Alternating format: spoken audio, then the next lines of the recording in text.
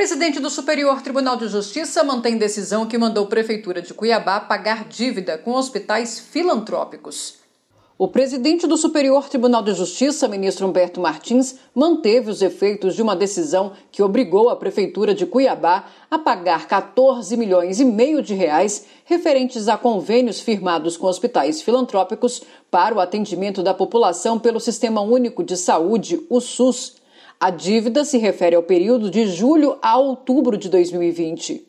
O Ministério Público Federal ajuizou ação civil pública e o juízo da Terceira Vara Federal de Mato Grosso deferiu uma liminar determinando o pagamento de valores devidos ao Hospital do Câncer e ao Hospital Geral Universitário mantidos por entidades filantrópicas. Se a ordem não fosse cumprida, a União deveria descontar os valores da próxima transferência do Fundo Nacional de Saúde e depositá-los em juízo. A Prefeitura diz ter pago os valores, mas diante da informação de que ainda haveria dívida em aberto, o juízo determinou o cumprimento integral da liminar sob pena de aplicação de penalidades. A liminar foi mantida pelo Tribunal Regional Federal da Primeira Região. No pedido de suspensão no STJ, a Prefeitura alegou que a liminar é lesiva para as finanças do município, porque se os pagamentos não forem feitos às verbas do Fundo Nacional de Saúde para Cuiabá, podem ser bloqueadas, desorganizando o sistema de saúde em meio à pandemia da Covid-19.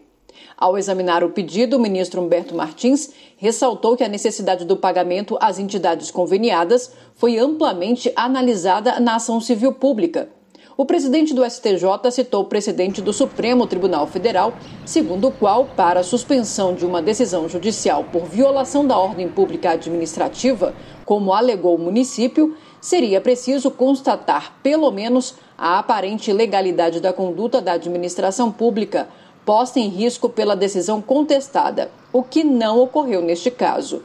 O ministro ressaltou ainda que os recursos cobrados têm como finalidade a manutenção dos serviços públicos de saúde prestados pelos hospitais filantrópicos que integram o Sistema Único de Saúde.